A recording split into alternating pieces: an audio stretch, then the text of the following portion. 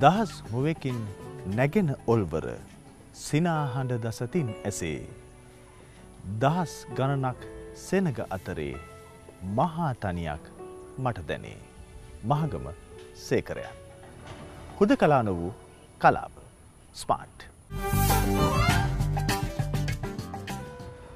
ඔබ ඉන්න ඔය තැනට මම පුංචිතිතාක්. මම ඉන්න මේ තැනට ඔබ පුංචිතිතාක්. තියාගෙන අපි අතරේ මේ තරම් දුරක්. ඇති වඩක් තියෙනවද තිබිලා එක හිතක්. ඉන්දික ගුණවර්ධන. කන්ද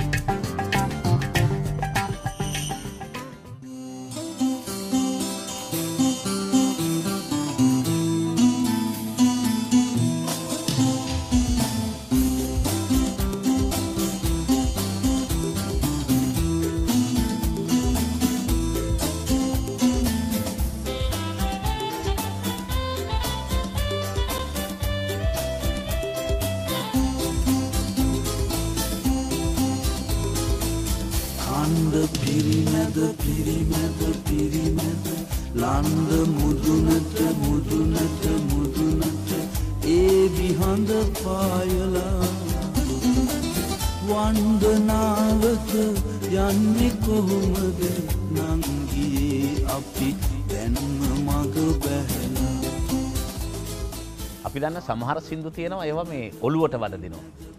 සමහර සින්දු තියෙනවා හොරද වස්තුවට වදදිනවා. සමහරත් සින්දු තියෙනවා ජීවිත අත්දැකීමේ අපිට වද දෙනවා. ඔළුවටයි හර්ද වස්තුවටයි දෙකටම. මං ඇත්තරම මේ කියන්න හදන්න එහෙම වද දෙන සින්දුවක්. බොහොම කල් දශක දෙකක් විතර මේ සින්දුවට වයසයි. හැබැයි පුදුව වදයක් මේ ගීතය. ඒ ගීතේ පටන් ගන්නෙම මේ කන්ද පිරිමැද පිරිමැද පිරිමැද පිරිමැද. ලන්ද මුදුනට මුදුනට මුදුනට මුදුනට. මංහිතන අප පුනරුක්තිය සමහරය කියනවා මේ සාහිත්‍යයේද පුනරුක්තිය දෝෂයක් කියලා. හැබැ මේ ගීතයේද පුනරුක්තිය දෝෂයක් නෙවේ ඒක ප්‍රශස්ත ලක්ෂණයක්. කන්ද පිරිමැද පිරිමැද පිරිමැද පිරිමැද. අර පිරිමදින ස්වරූපය දැයිනවා. පිරිමැද පිරිමැද පිරිමැද. කන්ද මුදුනට මුදුනට මුදුනට මුදුනට. කන්ද මුදුනට හඳයන ස්වරූපය දැයිනවා. එක ලස්සනම කොටස තමයි මේ කතකයා වැඩි හිටියෙක්. වැඩිවයට පත්තිච්චි කෙනෙ පිරිමිය ඉතාම ජීවිතයේ පරණත භාවයට පත්විච්ච කෙනෙ. හැබැයි ඔහු ප්‍රේම කරන්නේ අඩුගාන ගෙදරින්මත් තාමිලීතෙන්ට බැරි පුංචි කෙල්ලකට. එයාර තමයි කියන්න මෙයා මේ කන්ද පිරිමැද පිරිමැද කන්ද මුදුනට මුදුනට හඳාවට නංගී අප පන්සල්ලකටවත් යන්නේ කොහොමද මඟ බැහැලා ඔයා තාම් පුංචි. එතන ලස්සන හරිම ආධ්‍යාත්මික ගුණයක් ගෙනව පන්සර කියනකින්. අනි පැත්තින් නංගිය කියන එක භාවිතා කරන්නේ සිංහල සංස්කෘතක ලක්ෂණයක් විදිහට. පොඩි පොඩි ගෑල්ලමේ නංගී.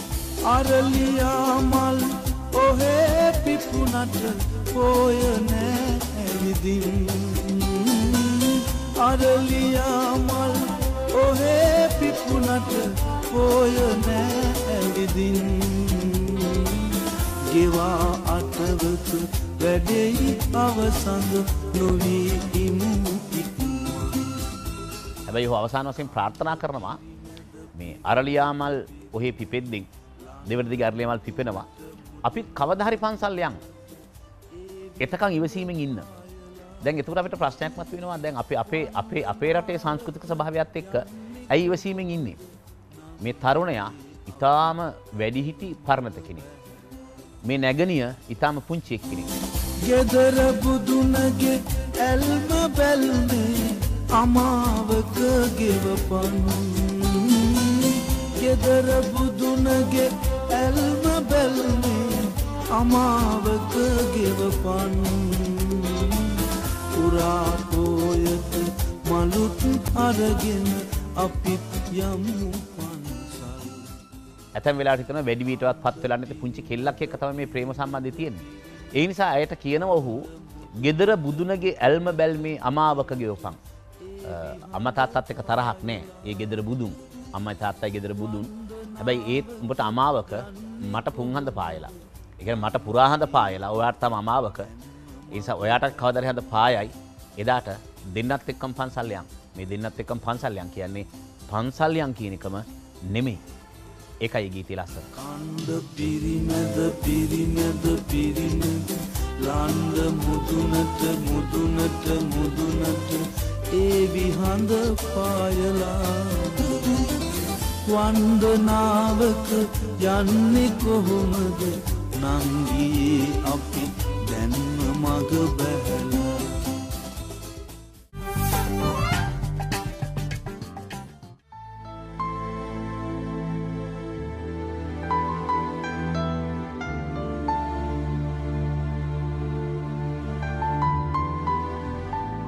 මං අද තෝරගත්තේ මේ හිතේ කෙටු ටැටූ කියන පොත. මේක ඉන්දික ගුණවර්ධන කවියගේ පොතක්. මෑත කාලේ නිතරම හැම වෙලාවෙන් මම මේක කියවන්න පටන් ගත්ත හේතුව දැන්ට මාස දෙකතුනකට කලින් ඉන්දික ගුණවර්ධන කවියා සහෘදයා සහෝදරයා මේ යනු. ඉන්දික එක්තරා කාලෙකදී මගේ පන්තියේ ඉගෙනගත්ත ශිෂ්‍යයෙක් ගෝලයෙක් නෙවෙයි ශිෂයෙක් එතකොට ගුරුවරයෙක් වශයෙන් තියෙන එක එක කේදවාචකයක් තමයි දැන් අපි හිතන්ගෙන එක්තරා කාලෙකදී අපේ මෘතදේහය කවදහර දවස ඔසවන් යන්නේ අපේ ශිෂ්‍යෝ කියලා. නමුත් අවාසනාවට ශිෂ්‍යයන්ගේ මෘතදේහ අපිට ඔසවන් යන්න වෙනවා. එක ඉතාම කේදනීය දෙයක්. දෙවෙනි විශේෂත්වය මුහුණු පොත මේ සයිබ අවකාශය කවියන් සඳහා ඉඩක් තියෙන බව ඔප්පු කරපු පළවෙනි පුද්ගලය ලංකාවේ ඉන්දි ගුණවර්ධන මේ පොතේ තියෙන සියලුම කවි මුහුණු පොතේ සයිබවකාශය ඇතුළේ ප්‍රකාශයට පත්විච්චේවා. තුංගන ගුණාන්ගේ තමයි ඉන්දික එක්තරා කාලෙකදී ඇඩටයිසින් ෆර්ම්වල ඉතාම දක්ෂ කොපිරයිට කරෙක් වශයෙන් ඉන්දික වැඩ කරගෙන යනවා. මහිතන්නේ ආභාෂය වෙන්න ඇති මේ කෙටි කවි නිමාවක් සහිත කෙටි කවි විශාල ප්‍රමාණයක් ඉන්දික මේ පොත ඇතුළ ලියනවා. දැයි සමහර ඒවා කාව්‍යමය ගුණයට එහා ගිය ප්‍රකාශන බවට පත්වෙනවා. දැ උදාහරණයක් කියා ලියනවා මල කොච්චර කිව්වත් බොරු කැමති උරණවට බබරු. ඉතාම කෙටි කවි. තවතනක ලියනවා බිරිඳ ගැන මෙහෙම. ඔයාගේ පුංචි වෛරසයට මගේ මාර ලොකු සිිස්ටම් එක පණ බයයි. තවතනකින් දික ලියනවා මං උපන්නේ අම්මගෙන්ද අම්ම උපන්නේ මගෙන්ද. ඒකම ඉදිකරන ඊට කලින් පිටුවේදී ස්ත්‍රීවාදී සාපු සහ පුරුෂවාදී බාර. අපි අපි අපි නගරයක් ගත්තොත් එහෙම ස්ත්‍රීවාදී සාපු සහ පුරුෂවාදී බාර්. මේ මේ මේ පොත තමයි මං හිතන්නේ ලංකාවේ සයිබ කවියන්ට මුහුණ පොතේ කවියන්ට මඟ පෙන්ව පොත සහ විශාල පිරිසක් අතට ගිය පොත එයා එක කියන්නෙත් මේ සයිබ අවකාශයේ බෙදාගත් කවි කියලා.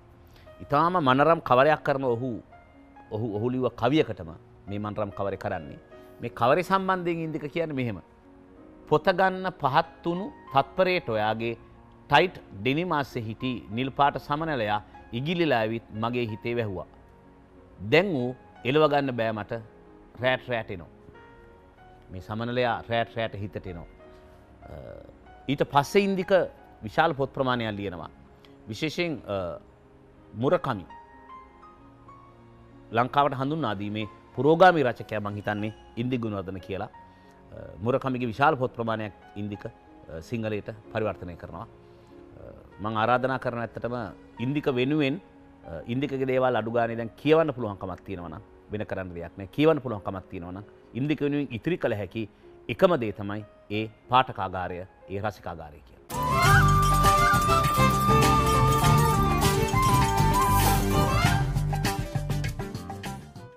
පෙරවදන පසුවදන කුරුටුගා හිතුමතේ.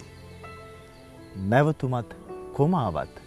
උඹයි මගේ ජීවිතේ චන්දු දේශප්‍රිය වික්‍රමසිංහ. මම මේ හොරෝපොතානට අලුතෙන් පත් වෙලා එන ඩීආරෝ මෙතනින්දල කොයි පැත්තෙද කන්තෝරුව තියෙන්නේ. මහත්තය ජීප් එකට නගින්ට මම ගිහින් ඇරලන්න. ඩ්‍රයිවරුන් නැහැගේ නම මම මුතු බණ්ඩා. වාහනයෙන් බැසගත් මුතු බණ්ඩා මගේ ගමන්මලු වාහනයට පටවයි. මමද ඉමහත් සතුරකින් යුතුව වාහනේ අසුන් ගනිමි. ෂණයකින් වාහනය හරවාගත් මුතු බණ්ඩා විනාඩියක් වැනි කෙටිකාලයකදී මා ගහටගස්තිගලිය ප්‍රාදේශෝ උපදිසාපති කාර්යාලය වෙත කැඳවාගෙනයයි. එතනින් ඇරබෙන සොඳුරු මතක සටහන් පෙළක දිගහැරුම. හොරෝපතානේ පළවෙනි ඩියාරෝ. APA ගුණසේකර.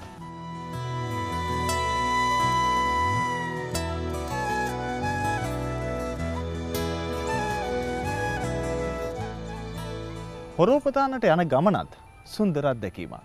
මම එදන්නවසේ ඇත්තතුනේ ඔක්තෝබර් පලවිද තමයි ඒක වැඩ බාරගණ්ඩ යන්නේ. ගෙල්ල අන්රාධපුරයට ගිහිල්ල අන්රාධපුරේ දිසාපති ඒපබ මනම් පෙරි මහත්මය හම්බේලා ඊට පස්සේ මම කාටගත් තිකිලියට යනවා.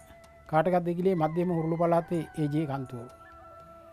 ඒ ඒජී හැටියට ඒ කාල හිටිය වර්තමානයේ රාජ්‍යවක මිස්සභාව සභාපති ඉන්න ධර්මසයන දිසානායක මහත්මය.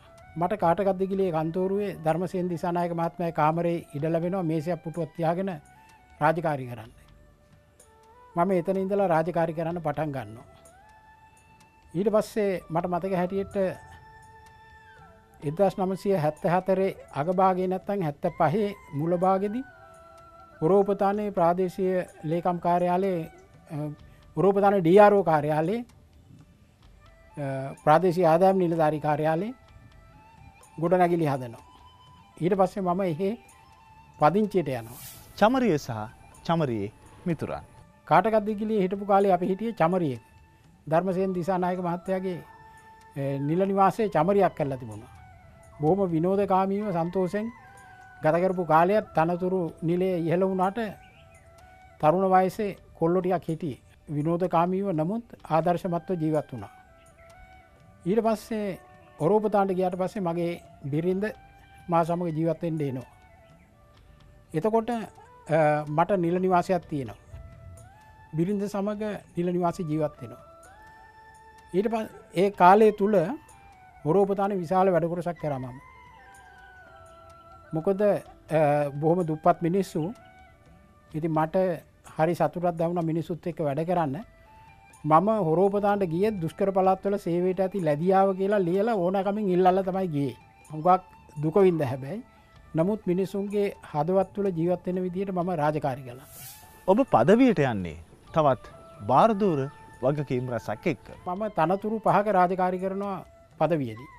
පදවියේ උපදිසාපතිත් මම දිශ්‍රිකිඩම් නිලධහරි මම විශේෂ ව්‍යාපාරාධිකාරී මම ඊලාට විශේෂ කොමසාරිස් මම ගම් සභාවේ ඒලාට පද විශ්වීපුර සම්පාකර සමිතිය සභපතිත් මම. හරි මායුවක කාලයක්. නමුත් හරි සන්තෝසයෙන් වැඩ කලා. හොරෝපතානයේ පළවෙනි ඩීආරෝ කෘතිය ඇතුළේ ඔබ කියනවා පදවියට මුහදක් තිබුණයි කියලා. ඒ කාල තිබිච්ච විශේෂත්වය තමයි අන්රාධපුර දිශ්‍රික්කට පදවිය ඒජයේ කොට්ටාසට මුූදු වෙරලත් තිබුණ. මේක උපක්දනෙ දන්නති කාරණයක්. යාංුව මුූදට වැටෙන තැන ඉඳලා කෝකිලායි කලපුේ මැද්ද උතුරු පලාති මායිම එන තැන දක්වා ප්‍රදේශය මුූදු වෙරලා අයිතිව තිබුණේ අන්රාධපුර දිශ්‍රික්කට. එතකොට ගම්මාන වසයෙන් ගත්තොත් නැත්තන් තුලාන් වසයෙන් ගත්තොත් පුල්මුඩේ ගැන මුස්ලිම් ගමක් දෙන්න මරම් වාඩිය කියන්නේ දෙමළ ජනතාව වාසය කරපු ගමක් පරණ මැද වච්චිය ඒ රාමඩුව මේ වගේ ගම්මාන රාශයක් තිබුණා ඒ ප්‍රදේශය. එදත් ජාතිවාදයේ ගිනිපුපුරු අපේ සමගියට බොහෝ පීඩා කළා. මම පදව ඉන්න කාලේ තමයි එද නමසි ඇත්ත හතේ මැතිවරණ සිද්ධ වෙන්නේ. ඒ මැතිවරණ සිද්ධවෙලා ටික දවසක් යනකොට මට මතකයි අගෝස්තු දාහත්වින්ද ඇත්ත හතේ අගෝස්තු දාහත්වින්ද ඉතාමත්ම බිහිසුණු බරපතල සිද්ධිය කර මම මුණ පාන. එදා මම පදවිහිට පුංජිනේරු මහත්මයක් ඒ කුමාරස්වායි මහත්මය දෙමළ මහත්මයෙක් අවුරුදු පනස්කානක් කෙනවා හැබැයි පදවිය සිංහල මිනිස්සු ඒ මහත්‍ය සලකුවේ දෙවියෙක් වගේ ඒ තරම් ගුණහපත් මහත්මයෙක් ඒ මහත්මයත් එක්ක මම අන්රාධපුර කච්චේරයට ගිය රැස්වීමකට ගිය ඒ මහත්තයාගේ ජීප් එක ඊට පස්සේ ඒ මත්ම මත රාජකාරවලටික ම කච්චේරී රාජකාරවලට කිය දවල් එකොලා විතර වෙනකොට අන්රාධපුරේ ජාතිවාදී කලා පෙළ ආරම්භ වෙලා දෙමල අයගේ කඩවලට ගාන්ඩ ගිනිතියන්න දෙමළ මිනිසු තුවාල කරන්න ඒම දෙයක් සිද්ධ වුණ. ඊට පස්සේ කුමරස්සායි මහත්මය කිව්ව යන්ඩෝනේ පදවියට දැන් කියලා. මම කිව්ව මං ආරක්ෂා කරන්න කියලා. නමුත් එයා කිව්වා මගේ වයි විතරයි එහෙ ඉන්නේ වයිෆමා එකට මැරුම් කණ්ඩෝනක. ඒ මට එකට ඇවිල්ලා දාලයන්ට බෑ මම කුමරස්සායි මාත්මයට කිව්වා හෙනම් අපේ යමු මෝඩ ගමනක් කියන්නේ කියල මංකුව මෙතනින් හාට ඔබේ නම කැමිලස් ප්‍රනාාන්දු කියලා.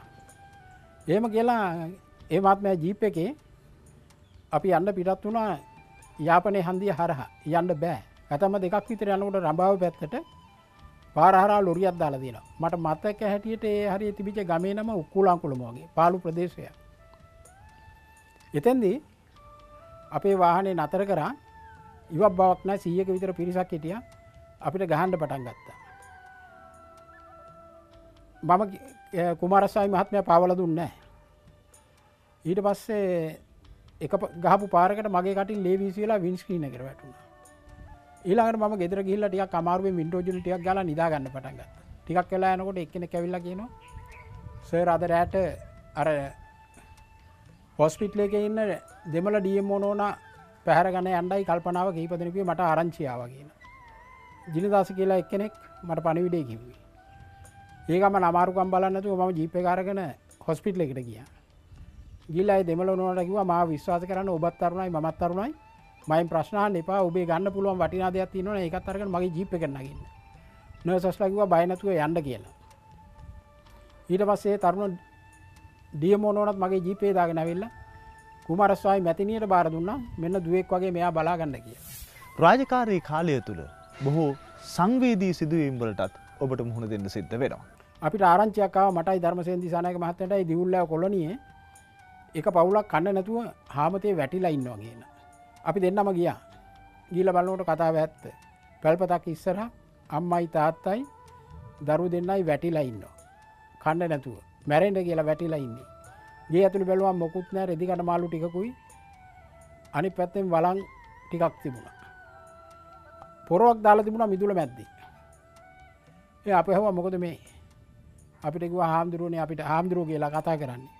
හාමුදුරුවනේ අපිට කන්නනෑ මට ඉතුරුණේ මේ පොරෝ විතරයි මම මේ පොරෝ අරංගයාර කඩේට ගිහිල්ලා පොරෝදීලා හාල්ටිකකුයි කෘමිනාසක බෝතලයකුයි අරන්ගන්න. බත් වෙල කෘමිනාසක දාලා මේ දරුවන්ට කවල අපි කණ්ඩ. ඊට පස්සේ මොකද වෙලා තියෙන්නේ. කඩේට ගියාම පොරෝ ගන්න අදස් කළ මනුසය ඒක ඉල්ලා තියෙන කුණු කොල්ලෙට. හල්ගත්තු කෘමිනාසය ගන්න බෑ කෘමිනාසය ගත්තු තාල් ගන්න බෑ. පොඩියවුන්ට කෘමිනාසක අමුවම පොවන්න බෑ කියලා ඇවිල්ලා ඊට පස්සේ පොලො පොරොවත් මිදුල මැදි දාලා ඒවොල මුදුල වටිලා ඉන්න හාමතය මැරණක. ඒ වගේ තමයි කුසගින්න ඒ කාලේ පැවතුනි. හොරෝපතානය පළවෙනි රියාරු කෘතිය තුළේන වනගැබ තුළ චාරිකා පරිච්චේදය පාසැල් පෙළපොතටත් එක් වෙනවා. දෙදස් පහ අවුරුද්ධදි මට අධ්‍යාපන අමත්‍යන්සේ කතා කර ලැහවා මේ පොතේ වනගැබ තුළ චාරිකා කියන පරිච්චේදය දහයි වසරේ පාසල් සිංහල පොතට ගණ්ඩද කියලා. ඉතින් මම කිව්වා ඒකෙන් ළමයින්ට යහපතක් වෙනවා නම් අධ්‍ය අධ්‍යාපනයට ඒක සුදුසුනං සාහිත්‍ය වන්නන්න සුදුසුනං ඒ ගතරමයි විරුද්ධත්වයන් නෑ කියන. හොරෝපතානයේ පළවෙනි ඩියාරු කෘතිය කියවද්දී. අපේ හිත අපෙන් ප්‍රශ්න කරනවා. මිනිහෙක්ට මිනිස්සුන්ට මේ තරම් ආදරය කරන්න පුළුවන්ද කියලා. මම ඉගෙන ගත්ත මේ රටේ ජනතාවට පින්සිදුවෙන ජනතාවගේ සල්ලිවලින් නිදහස් අධ්‍යාපනය. නිදහස් අධ්‍යාපනෙන් ජනතාවගේ සල්ලිවලී ඉගෙනගෙන ජනතාවගෙන් පඩි ලබන ජනතාවකින් පහසුවල් ලබන රැකියාවට ගිහිල්ලා ඒ රාජකාරය කරන්න නම් ජනතාවට ආදරය කරන්න ඕන. ජනතාවට ආදරය නොකරන නිලධහරයකුට කවදාවත් හරියට රජයේ සේවය කරන්න බෑ. හොරෝපතානයේ පළවෙනි ඩියාරෝ රාජ්‍ය සේවයට අලුතෙන් එක්වෙන නිලධාරීන්ට කදිමත් පොතක්. මුව කවස්ථාවල පරිපාල සේවය කණ්ඩායම් බඳවගත්තම ඒ අයට දේශන පවත්වන්ට යන්නත් මට අවස්ථාව ලැබිල තියෙනවා. ඒ අවස්ථාවේදී අනිතක ස්ලීඩා එතන මේ පොත ගැන කියනවා. ඉති ඒ අයට පොත ලබාගන්න අවශ්‍ය වෙනවා. සල්ලි එකතු කරලා මගෙන් ඉල්ලා හිටින මේ පොත අරන් දෙන්න කියලා. එතකොට මම ගොඩගේ මහත්තයට කතා කරලා සිරිසුමන ගොඩගේ මහතර කතා කලා ගොඩගේ පොත් සමාගමතාව මේක ප්‍රකාශයට පත් කලා තියෙන්නේ කට්ටූට දෙන ඩිස්කවුන්් එක අරගෙන ඒ පොත් මිලදීගෙන ඒ අලුත් පරිපාල සේවේ නවකයන්ට ලබා දෙනවා. ඉති මම හොඳටම දන්නවා පරිපාල සේවේ නවකයෝ ගොඩක් අය මේ පොත කියවල තියෙනවා ඒ පොත ඒගොල්ලඟ තියෙනවා. ඉති හුඟක් අය මම දන්නේ මම ලබපු මම දරපු නිල තලවලින් නෙවෙයි. හුවක් අය මම දන්නේ හොරෝපතානි පලවෙන් ඩියාරෝ කියලා.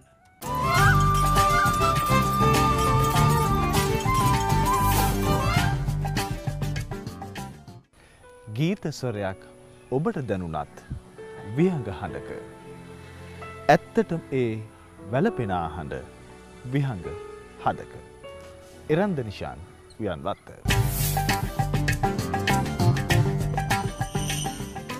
නිමුම් කුරුල්ලා. DMS ආරය රත්න. කිරිකෑ මුත්තා කිරිකිත්තා කිත්තා පනත්තා නත්තා මුත්තා අත්තා අපපච්චීට දුන් නිමුන් කුරුල්ලා. අත්තටු විහිදා යාය සිසාරා සාගතයෙන් පරපුරු රැක්කා. අප්පච්චීගෙන් දෑතට ගද්දා අත්තටු සීතට අත්තල පිච්චී බිමාත හැරුණා නිමුම් කුරුල්ලා. DMS ආරිරත්න නිමු කුරුල්ලා. සඳදූවරු ශාමාල්ද සිල්වා. හතේ කනුවාසරින් බසුණු වෙනුවට පෙරටම ගිය ඈ විහාරහන්දියේදී බසයෙන් බැසගත්තාය. විඩාවෙන් රිදුම් දෙන දෙපතුල්වලට බෝමළුවේ විසුරුණු සුදුවැල්ල දැනෙව්වේ සිසිලසකි. අපට හැඟුණේ ඈ පටාචාරා කතාවේ සිටුදියනියමෙනි. සැබෑවටම කීවොත් ඊටත් අන්තපරාජයකට ලක්වුණු ඇයකුගේ අසරණකමකි. සිටුදියනියට සියල්ල අහිමි වූයේ ඈ රාගෙන් අන්දව දෙමව්පියන් හැරදා සේවක තරුණයකු සමඟ රහසේ ගිය නිසාවෙනි. එහෙත් මෙවන් ඉරණමකට පත්වීමට තමා කළ වරද. සඳදූවරු ශාමාල්ද සිල්වා සරසවි ප්‍රකාශනයක්. ඔබේ අලුත් කෘති එවගේම ඔබේ අලුත් කෘතිවල දොරට වැඩීම් පිළිබඳ තොරතුරු ලියන්න අප වෙත. නිෂ්පාදක ස්මාර්ට් ITN වික්‍රමසිංහපුර බත්තර නුඹ නටුවෙන් බිඳ මලත් අරන් ඈතක ගිය හින්දා.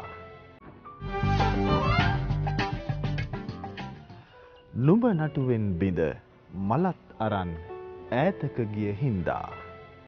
සුවඳින් සැනහිලා ඉන්න බැරිපාපය හින්දා. සුළඟ නුඹ වගේ නොව වෙන කවුරු හරි වගේ.